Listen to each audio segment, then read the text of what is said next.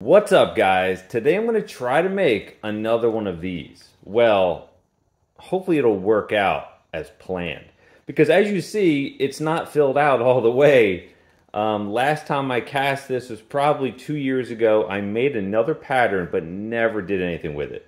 So this one you can see I fed it into the top and I used the same type of foam for the entire thing.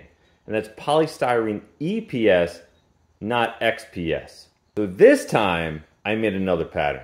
And you can see it here. I used polystyrene EPS for the bottom and the extruded polystyrene for the sprue.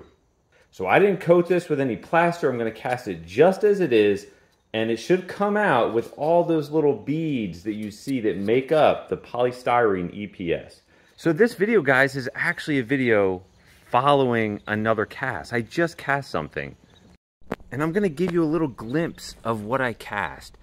And if you didn't see the video, definitely check out last week or the prior week's video of exactly what I cast right here.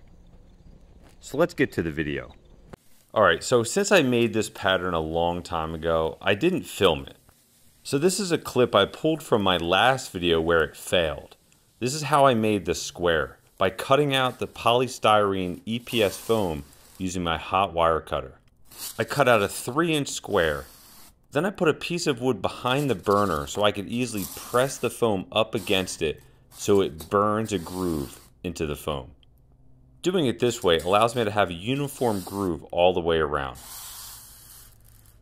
After this, I'll glue a sprue on it for the molten metal to flow into.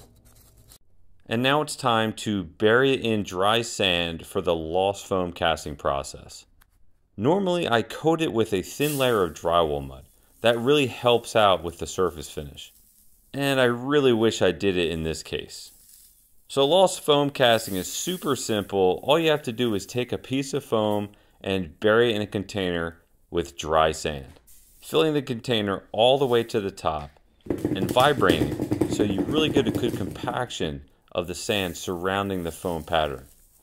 Fill it all the way to the top. And when it reaches the top, you want to take a can with the hole cut out of the bottom so you can put that right over top of the foam. This is where the molten metal is going to be poured into. And make sure to surround the container with more sand just to lock it into place. You really don't want to be pouring molten metal into the can and then have the can fall over. And now it's time to melt some metal. I'm going to start off today's melt melting down some scrap aluminum that I have. Mainly cutoffs from previous lost foam castings. If you're new to my channel, definitely head back into my other videos when you finish this one. I'm sure you'll find plenty other videos that you'll enjoy. So let's get back to melting some metal.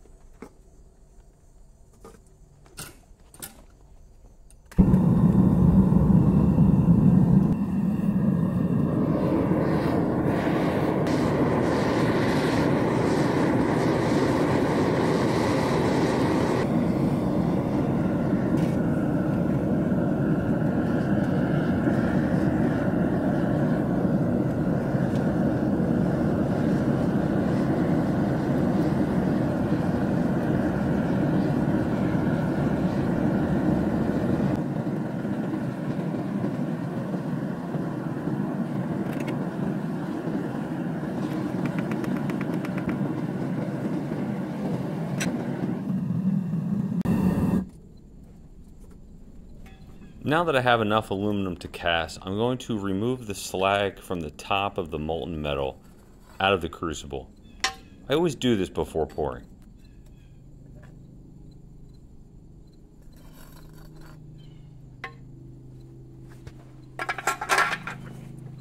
And this is where the magic happens.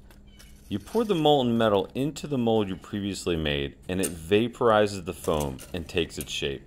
It really is fascinating. It's a super simple way to really get into learning how to metal cast.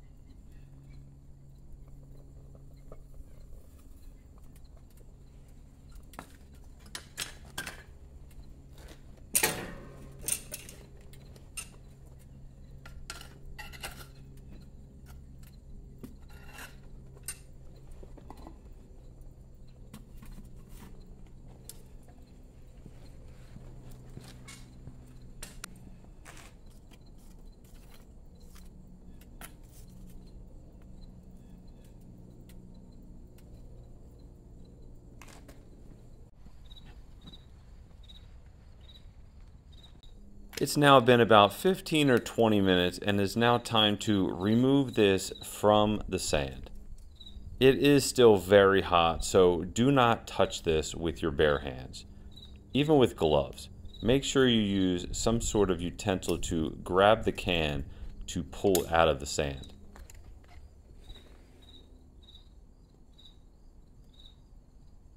I'm going to now cool it off in a 5 gallon bucket of water.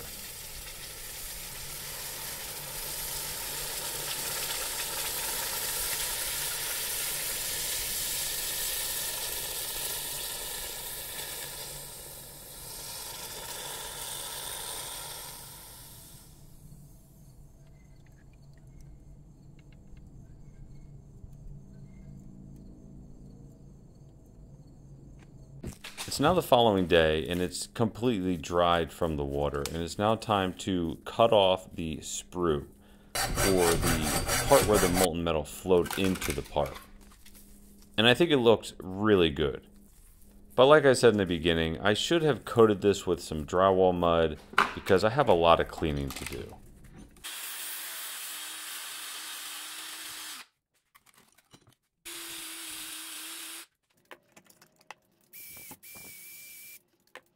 So after removing all of the black tarnish from the aluminum, I'm really getting a better look at it.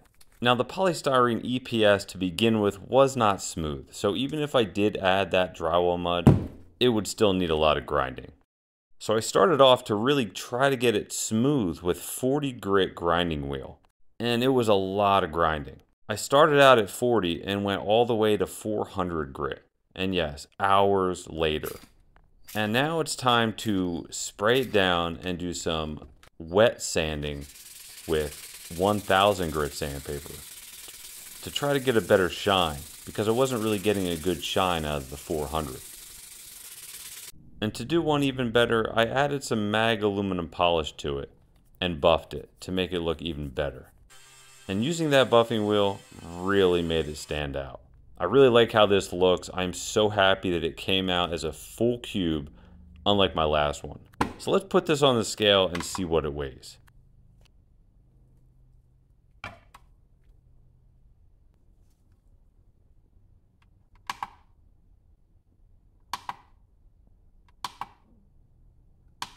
That's right, guys. 39.1 ounces and 2.44 pounds.